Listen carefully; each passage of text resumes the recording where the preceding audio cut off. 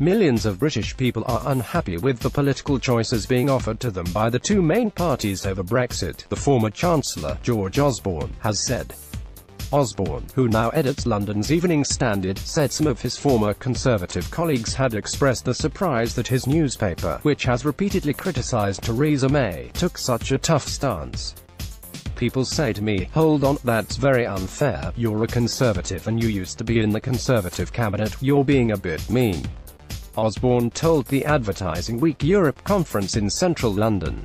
Osborne, who was Chancellor for six years before being sacked by May and who stepped down as an MP shortly after taking the Evening Standard job a year ago, said he aimed for the paper to fill a big, vacated space in the political landscape, which is essentially saying we don't actually have to have either Jeremy Corbyn or Jacob Rees-Mogg in this country, we can have something in the middle. He said this gap existed more generally. On Brexit, I'm actually socking it as much to the Corbynites as I am to the hard Brexiteers.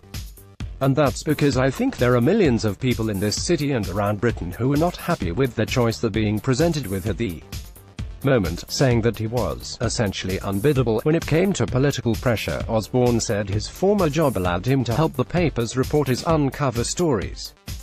My role now is to get to things which, in my previous job, I would not have told you, he said. I have a little bit of an advantage because I know where to look.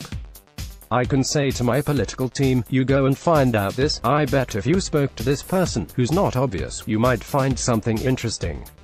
We don't actually have to have either Jeremy Corbyn or Jacob Rees-Mogg in this country. This had not always gone down very well with former colleagues, Osborne explained. One of the things that has surprised people in my former profession, the Conservative Party, is that I'm pretty tough on them.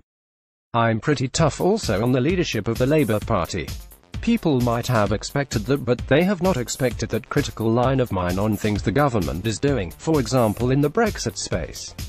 Osborne reiterated that, while he remained a conservative, there was no guarantee the paper would take the same view, if you assume that we are just going to back some London mayoral candidate on 2020 just because they're a conservative, forget it.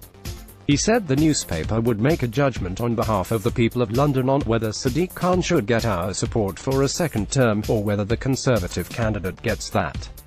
The former Chancellor dismissed the idea that the editorship was merely a springboard for a return to politics. I'm going to stick around, because I'm having a great time.